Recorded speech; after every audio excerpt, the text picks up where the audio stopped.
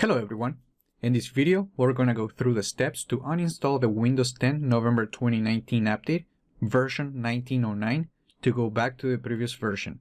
This time around, the upgrade process to a new feature update will be different depending on the version of Windows 10 that you're actually running. This particular video will show you the steps to remove the November update if you perform an in-place upgrade using the Media Creation tool or the Update Assistant. So if the update is causing any issues, to uninstall it, use these steps.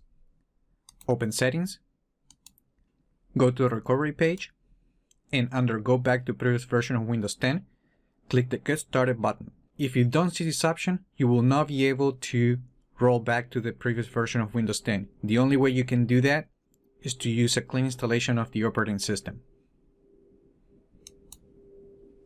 Select any reason and click Next. Click No Thanks. Make sure to read that going back to the previous version, you will need to install some apps and you may lose some changes made after the upgrade. Once you're ready, click Next.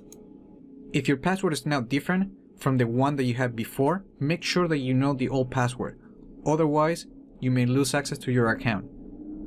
Click Next. And this is the last step. Once you click the Go Back button, your computer will restart and roll back to begin the process. This process should not affect your files, but it's always a good idea to create a full backup of your computer and data in case something goes wrong. I don't need to remove the latest version of Windows 10 on this computer, so I will just click the cancel button.